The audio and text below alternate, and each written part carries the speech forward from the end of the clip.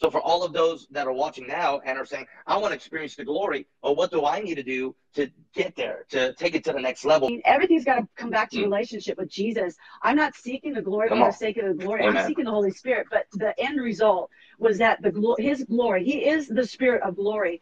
When you have relationship with Him and you walk with Him, uh, you begin the, the manifestations of glory begin to happen without you striving. But this was different. It's a felt anointing that, that came upon me, and I knew exactly what it was for. It was for supernatural weight loss. And Come then on. I got I got this download of all these scriptures that hey. speak to it, and it really the deliverance aspects of it. You know, like if wow. you have bitterness, then your belly will swell. Numbers chapter five. I actually learned that from wow. Peter. And the garments of praise for spirit of heaviness. I learned from a trauma therapist that people, when people um, get rid of depression, they actually lose weight. So there's a connection. So you gotta you gotta praise your way through the heaviness because heaviness. Heaviness, heavy thinking, depression is, is a habit for many people. It's a habit. Wow. And you can praise wow. your way off of it, out of it, and you get the heavy off of you and the heavy comes out of you. You know, so he gave me this whole download, this whole teaching.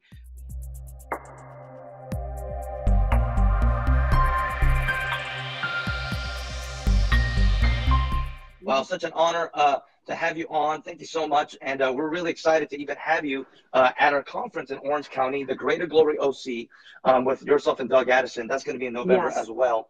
Uh, but, uh, you know, represent you are in Turlock, California. Uh, so you're in Central California. I'm here in LA in Southern California. So we got California in the house. I think it's and, important um, to point out. I used to be just North and South California. Okay. And at some point uh-huh. we carved out a Central because Central has a role.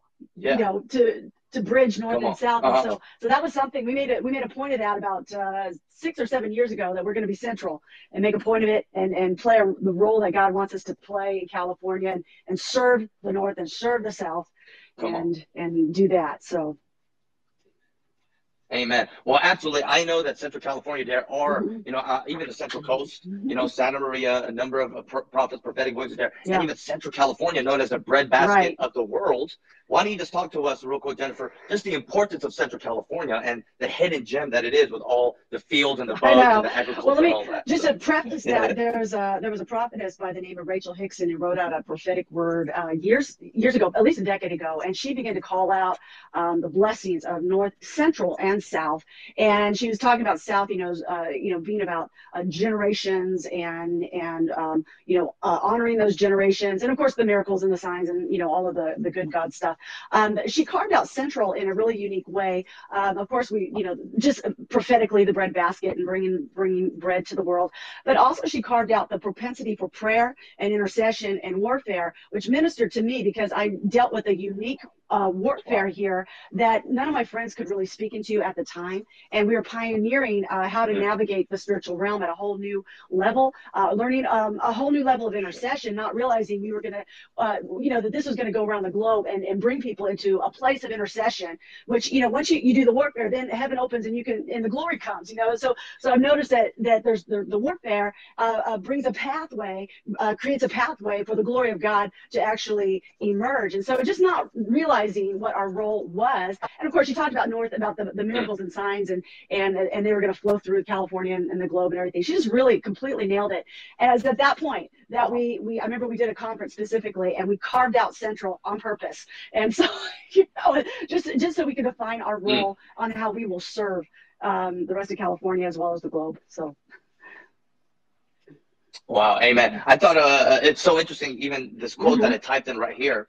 Uh, the warfare brings a pathway for the glory of God to emerge. Now, um, uh, you know, I, I feel like you know just for you to just revelate on that or to sure. a little bit i'm sure that's going to help a lot of people that are. sure. there's some right camps now. that really um, they, they, they really try to diminish that aspect of our christianity and and i've called i refer to it as the tension of two extremes some camps that just want to see jesus we're just going to mm. we're just going to be encounter people we're not going to you know talk about the devil you know those are the extremes of course and and then you have others who are on the other mm. extreme it's all about the devil it's all about warfare and really it's both you know and and and so but at the same time you know there is uh if we're going from glory to glory that means you go from battle to battle to victory, and those who overcome, they get authority over over what nations. And so, in order to bring uh, in, in order for heaven to open over nations, there's the connection to prayer and intercession. Uh, Jesus mm. prayed and heaven opened. We see in Isaiah when Isaiah, it's almost like he's shouting, you know, rend the heavens and come down. And if you look in that passage, you, you mm. read into it, the connection was prayerlessness. The reason the heavens were closed was prayerlessness, mm. you know, and idolatry, of course. Mm. And so, you know, bringing people back mm. to the basics, you know, intercession, prayer,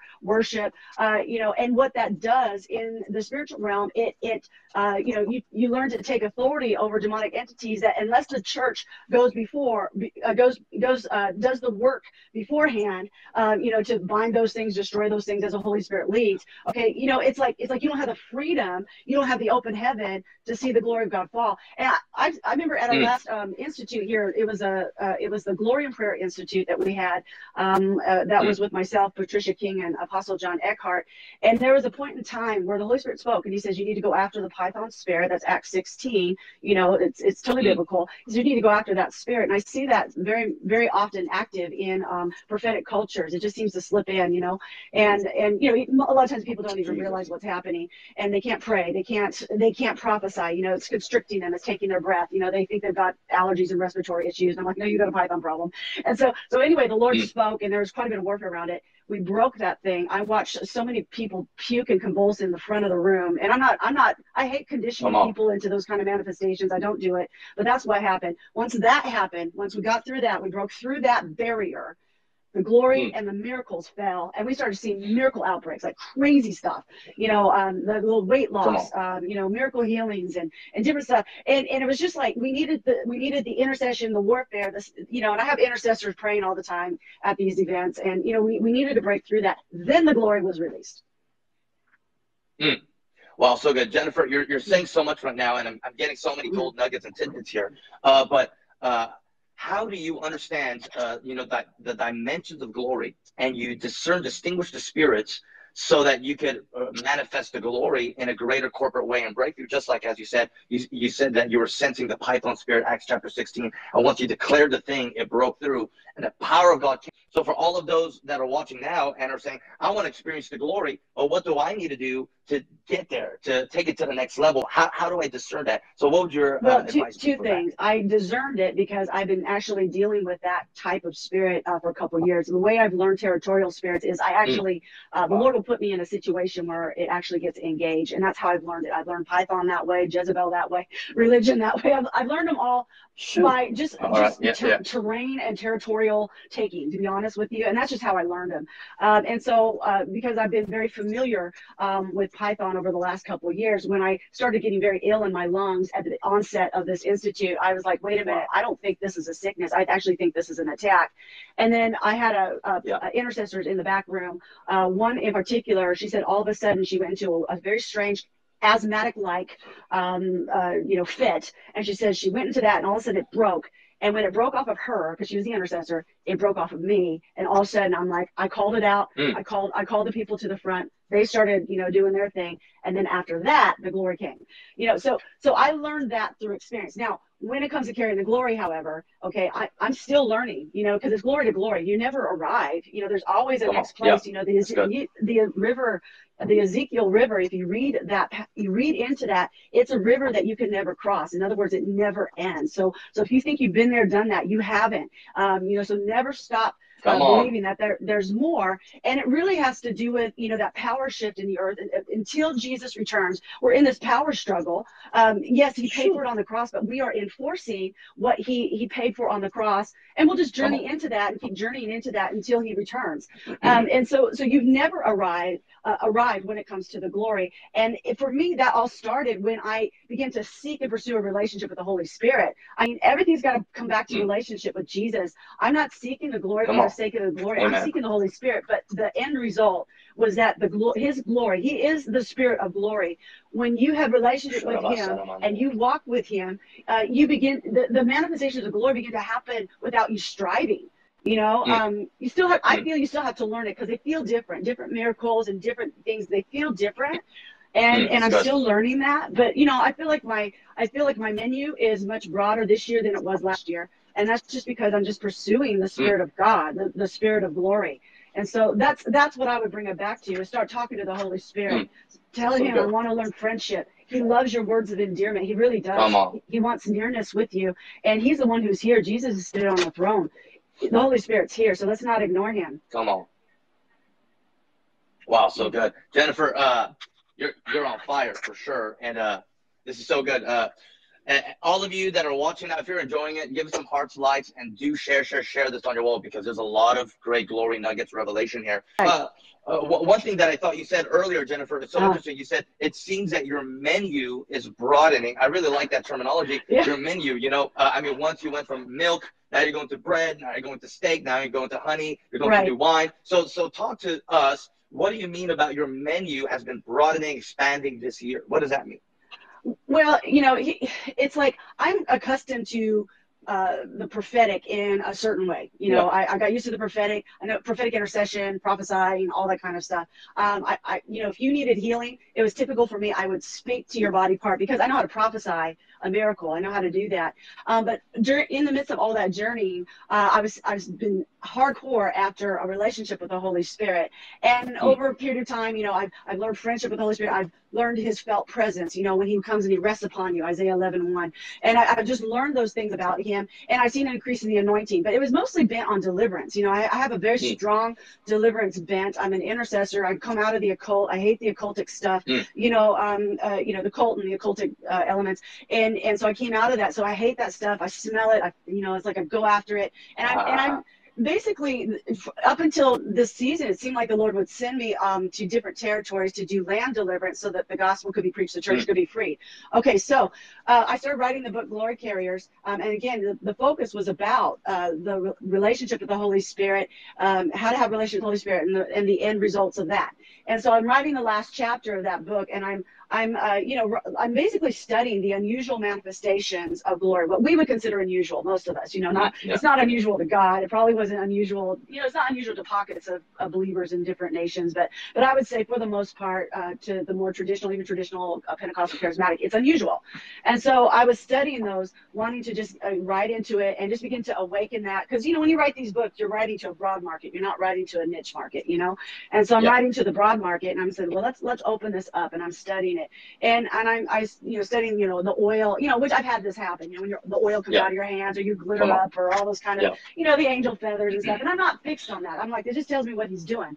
And so I got to the supernatural weight loss miracles and I thought this is really odd. I like supernatural weight loss. And you gotta understand I'm a fitness person mm. you know and, mm. and I have a certain way of thinking about that. And I'm not like I'm not like really biased or judgmental with people who just you know can't can't seem to get their body in, in a um a, work, a working condition. You know I didn't really have a, a judgment, but I still my mind says, you know, let's let's work on the exercise, let's work on the diet. That's what my mm-hmm. where I would land. And I started looking at those supernatural weight loss miracles, and I thought this is really interesting. And and the, I call them the gurus, you know, these weight loss gurus. I'm like, it looks like they kind of a method to this and how they how they apply this. And I just thought I'd ask around and see if some friends of mine had ever experienced it. I want to know if anybody mm-hmm. experienced the miracle.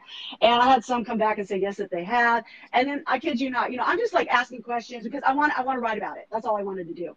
And I'm asking questions, and I kid you not, this felt anointing came on me. It's a felt anointing. Mm. You know, I know the the, the the resting of the Spirit upon you. I know that, but, but this was different. It's a felt anointing that, that came upon me, and I knew exactly what it was for. It was for supernatural weight loss, and then on. I got I got this download of all these scriptures that hey. speak to it, and it really the deliverance aspects of it. You know, like if wow. you have bitterness, then your belly will swell. Numbers chapter five. I actually learned that from wow. Peter.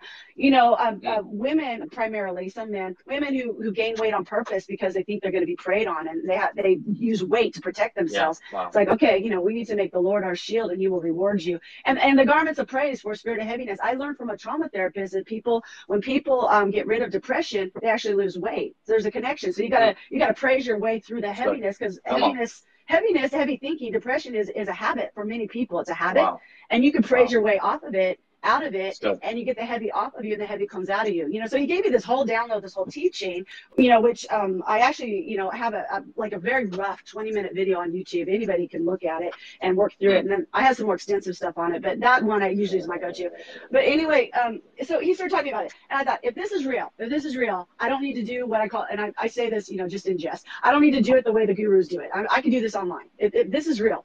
So I, I did a facebook live to see if it was real and i started getting testimonies back before losing losing weight. It Mm. wasn't like it wasn't like huge, but it was enough to say something was going down. Mm. Then I did the YouTube video, and I got a whole bunch more. Then I just started ministering it in different places, and then it just started picking up and rolling. And pretty much everywhere I go, we have this miracle on. happen uh, in some dimension. But then it started going from weight loss to hair restoration. Yeah, now, yeah. now it's what's starting to happen is the teeth miracles and you know um, uh, instant deposits into bank accounts. I mean, it, I'm just like, are you kidding me? I never Mm. saw myself being this kind of person. I just thought Yeah. I'd be the personal. I prophesied to the land. I prophesied to the to Mm. the leaders, and, and now it's like it's like a whole new language, a whole new menu is coming, and it just keeps going, and Mm. it's fascinating. But you you can feel it when it comes on you. You can feel it. But I find that a lot of um, camps are are not quite ready for it. Like you have to do a measure of work there. Mm. Yeah, Um, and good. secondly, it requires uh, some element of faith. But but I'm praying that the Lord will give something to me that I can just break through it easier on their Wow. behalf and just just awaken this glory realm to them. Um, because you know it's like the Lord wants to encounter people with miracles that we thought He would never ever care about or do. I mean, to have your hair grow when you can't grow your hair, you know, for women especially. For men, I don't think it's a big deal, but for women, when you, you're you got bald spots and stuff, it's a big deal. And you know, Mm. to see their hair get restored, I've seen, I've had uh, on. testimonies of hair like instantly growing, um, or they'll come back to me later and they'll say, you know, it started growing after uh, you prayed over me, and they'll show me like three months later, they'll show me their hair, and you know, it's just like Come and on. now now the teeth miracles are starting. That's the one I've been after recently is the teeth miracles. You know, where your teeth gets fixed. Um, you know, whether the Lord gives you gold in your mouth or not, I've, I've seen that happen to me like once. You know, but Mm. but regardless, I don't care. I So just good. know, teeth miracles. And it's just, it's just going to keep going. That's what I think is going to happen. It's just going to keep going. God's going to just, just show himself that he will, he will do anything that Come you on. need to fix. You need, you know, don't put anything past him to not fix it. Come on. So good. Jennifer, there's such the power of God is so present right now. And I know impartation, healing, waves of glory is is literally being transmitted through this Facebook Live broadcast. I know we have maybe about five more minutes. Um, and uh, at the end of it, I do want you to pray. I know right now people are experiencing the power of God on your body, uh, weight loss miracles, dental miracles, uh, Yeah. hair miracles. Um, you know, we've seen that in our ministry countless Yeah. times. Yeah. Um, but uh, in the last five minutes before we close, because I, I want to be so mindful of your time, our time here, uh, you know, really, it, it seems like, you, know, you're. I, I keep telling people, Jennifer, uh, you're, you're one of the hottest things uh, out right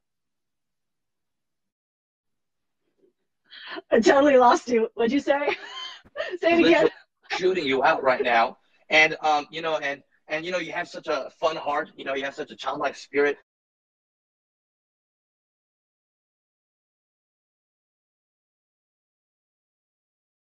Increasing you know it's accelerating for sure but you know how, how, are you handling and managing all of this right now because uh, you know the favor and hand of god is definitely on your life and you know i, I salute you as well even as a woman of god you know uh, another ruth ruth heflin you know kathryn kuhlman uh, you know, how am I managing? You know, I, I just really live out of his presence. There's one thing I never miss is my, my time, my set time of prayer every day with the Lord. And I'm surprised that I'm able to carve out the amount of time I'm able to carve out and still live uh, as big as I live. And it just tells me that the Lord knows how to do stuff with time. He knows how to do stuff with, um, uh, with, with your, uh, with what he's called you to do. I feel such a grace. I have energy. I have life. I, I, I'm not making any of this up. You know, I, I freak people out all the time, you know, with everything that I do because they're like, how do you do it? And I said, honestly, I just do what God calls me to do and I leave the rest to the side. But there's one thing I don't miss is my set time of prayer. I will let things go just to keep that time with the Lord. Um, you know, it's a time, you know, I, I don't know. I just, I feel like I have his grace and strength, kind of like the, you know, Elisha when he could run as fast as, as the, you know, the chariots and stuff. I, I really have something on my life. Um, I live out of one verse, uh, um, and I, I quote it a lot, is that when you, when, when you are in the presence of the Lord, um, you know, you, you renew your strength like the eagles and you run and you're, you're not weary and you walk and you don't faint. And so that's, I, that's how I live. It seems like simple, but that's, you know, that's my secret. So good, so good. Uh, as we're about to bring this to a close, I want to ask you one more question, uh, Jennifer. Um, uh, glory carriers, you know, uh, you said you're radically pursuing, hungering after the Holy Spirit relationship with God, and you know you're experiencing these glory manifestations, of glory carriers. Uh, why is it important for us to realize and understand that we are glory carriers? Well, it really, again, bring it back to relationship. Okay. Uh, you know, I, I never got into this because I wanted to wow anybody or impress anybody. This came out of relationship with the Spirit of God. And and I just want to, you know, do what he's doing. You know, it's like this beautiful communion, this beautiful dance. It's kind of like, you know, when you speak in tongues, you know, you're having a communion with your words with the Spirit of God. Well, now in the realm of miracles, it's a communion with the Spirit of God. I get to feel him uh, in a way that I hadn't felt felt him before, and it fascinates me. And then I also have a goal to see people free on levels that you know we've never we've never crossed before. Freedom is important, you know, and and just like the reason the whole thing about weight loss is about captive destinies being set free. You know, because you if your body isn't healthy, you can't live out your purpose. You can't do what God's called you to do. That's what the whole point of it is: is to set you free to live out your eternal purpose that began in eternity and will finish in eternity. And so, so if you are succumbed to the spirit of heaviness in a way that you are like you are wow. lethargic, you are chronically chronically yeah, um, uh, in bed, you can't get out of bed, you have no life to you, you can't do what God's called you to do. Um, you know, and the Lord wants to set you free of that because you mm, have to live out your purpose. People you don't know yet are counting on you living out your purpose. You've got to do it. And I challenge you because you can no longer have an excuse. So, so no good. more excuses. There's freedom for you. So. Uh, one thing, uh, this is so good, Jennifer.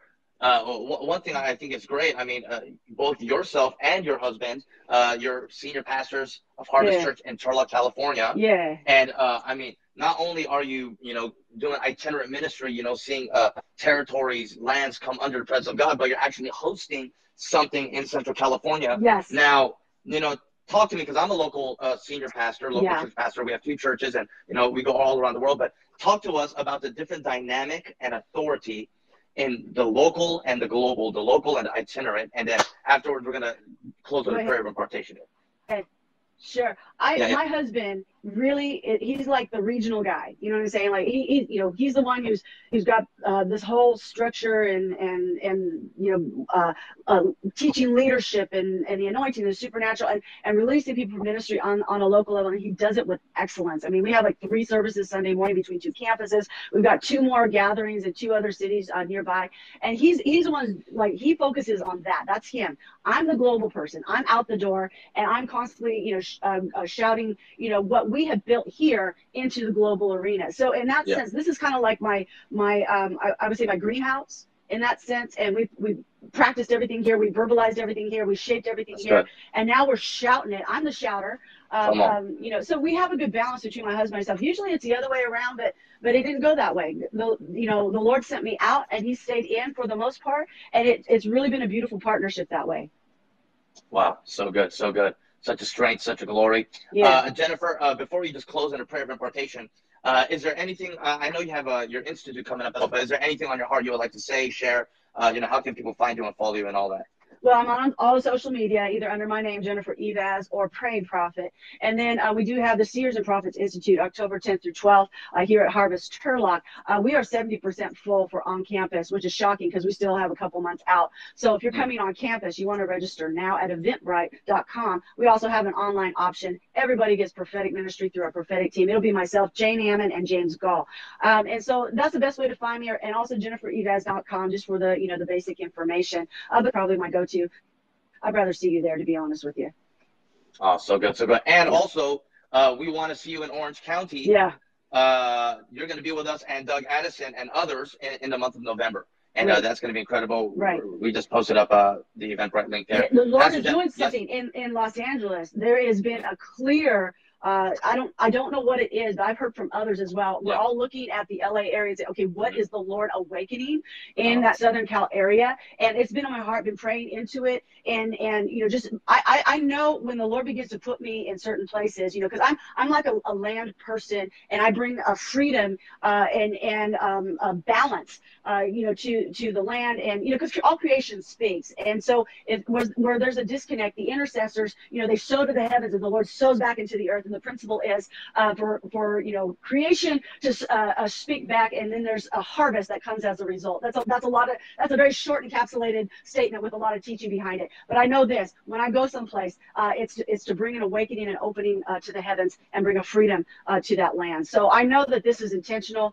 the timing is right. The Lord's been speaking to me about LA and to some others about LA and saying God's God's moving there. He's, he's awakening something there.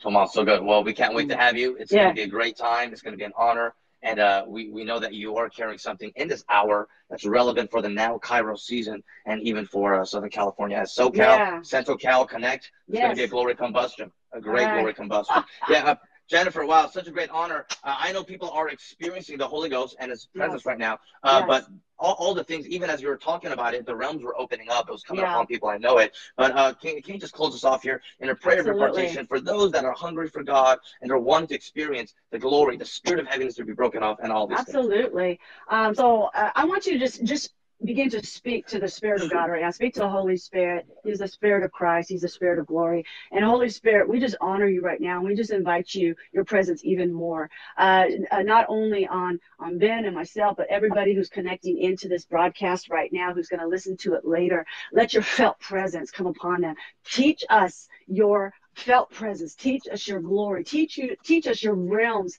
um, of glory, your your your realms of anointing. And I pray, Heavenly Father, we begin to walk in a whole new um, realm of miracles, realm of glory. Not just me. I'm just forerunning what what you have for everybody. Uh, and, and so, Lord, I pray to begin to awaken um, uh, miracle workers, awaken um, uh, awaken uh, the glory carriers, awaken them to your glory like never before. I pray over those captive destinies, Lord, and I command freedom uh, in Jesus' name. Uh, whatever's going on in your physical body that has weighted you down, if it's actual weight, if it's actual fatigue, if it's if it's been diagnosed as some sort of mm. medical issue that has has sapped your strength and your energy, and I speak over you that the spirit of heaviness is broken in the name of Jesus. It lifts off of you. Just give him your praise right now. Give him your glory right now. And I just speak over you that that chronic fatigue is reversed. The way you deal with chronic fatigue, right wherever you're at right now, get up and run. You have to force the issue with that thing and, and tell it to go because you'll run and not be weary. You'll walk and you won't faint. And so I command the weight to begin to melt off of you. Um, uh, the hormone issues, a reversal to that, a balancing to your system. And you're going to finish your race and you're going to finish it with strength. Come and you'll on. be like, you'll, you'll be like uh, Caleb said, my strength was not abated. I'm 80 and I'm still running hard as if I'm a young person. And so the Lord is doing a powerful work. If you're old and you're watching this and, and you're like, I'm too old for this, I got news for you. There's a catch up clause because but the whole thing, he restores time. He knows what wow. to do with time and he can, he can collect time and, and catch it all up for you. Joshua spoke to the sun and the sun stood still. God can do stuff for you. You have to finish your, your calling, your purpose. You have to complete it because people are waiting for you. Uh, you are somebody else's breakthrough. And not only that, it's a joy for you to actually step into the anointing that he has for you. There'll be breakthrough everywhere you go. And so I release that over you now in Jesus' mighty name.